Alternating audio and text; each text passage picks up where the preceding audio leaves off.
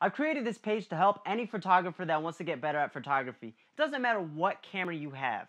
This right here is a Nikon D3100. This is a beginner camera. I want to show you how you can produce professional results with a camera like this. A lot of you out there may have bought one of these cameras because it takes great pictures, right? It's, it's not it's not taking good pictures. But uh, I, I, I don't understand why why I don't understand why it's not working. Well, this camera I don't why isn't it working? I don't know.